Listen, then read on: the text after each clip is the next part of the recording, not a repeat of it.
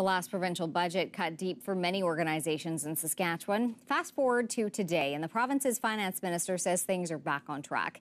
It comes as the government gave a fiscal update. But as Wayne Mantyka tells us, some say it's not as good as it sounds. On track means Saskatchewan could end its fiscal year $679 million short. That's the revised provincial deficit.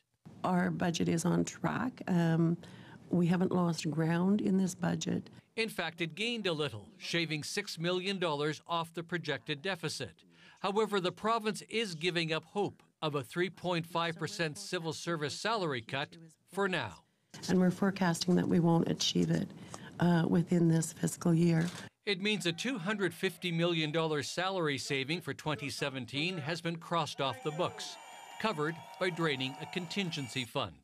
300 million contingency was a bit of a shell game to begin with because if they honestly expected that 250 million wage cutbacks to realize uh, in this in this fiscal year, that just shows that they're not in touch with reality. It leaves union negotiators with some bargaining room. When we go talk to our members, not only are they saying they don't want the minus 3.5%, but it's getting to the point now where they're actually looking forward to some kind of a small wage increase.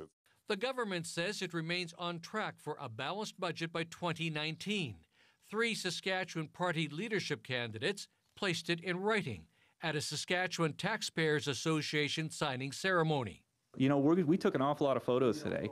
Uh, hopefully, down the road, uh, if one of these folks uh, becomes premier, we'll be able to put up a billboard saying promise kept. There is no room left for surprises with the contingency funds no longer available.